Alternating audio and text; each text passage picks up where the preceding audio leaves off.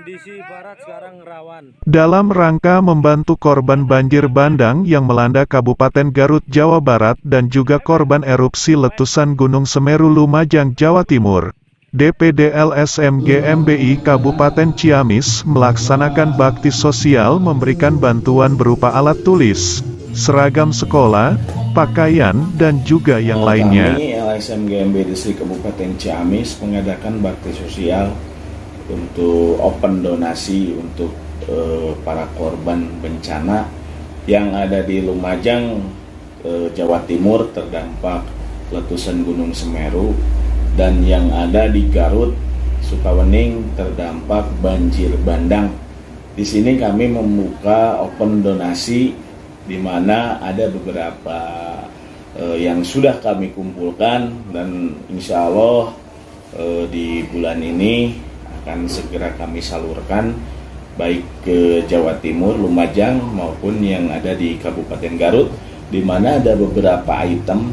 Salah satunya di sini eh, ada baju anak, baju dewasa yang tentunya layak pakai dan mie instan, susu serta eh, sendal dan yang lain-lainnya eh, apa menyangkut dengan kebutuhan air mineral juga dan di sini kami e, menyumbangkan juga e, alat tulis baik pensil, penghapus, buku dan pulpen.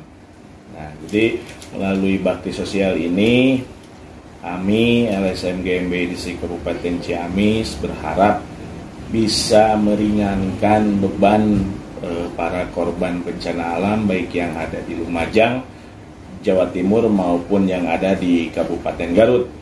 Dan harapan kami juga eh, semua dermawan, donatur yang ikut menyumbangkan eh, untuk para korban agar peduli terhadap para korban bencana alam dan tidak lupa saya mewakili LSM GMBI Distrik Kabupaten Ciamis mengucapkan banyak terima kasih kepada seluruh mitra yang sudah mempercayakan penyaluran e, melalui DPD LSM GMB, GMBI Distrik Kabupaten Ciamis. Adapun dalam penyampaiannya, Paket bantuan untuk korban erupsi Gunung Semeru Lumajang, Jawa Tengah rencananya akan dipaketkan dan untuk bantuan ke wilayah Kabupaten Garut rencananya akan diberikan langsung oleh Ketua DPD LSM GMBI Distrik Kabupaten Ciamis. Dodi Susandi Analisa Global, dari Kabupaten Ciamis, Jawa Barat, mengabarkan.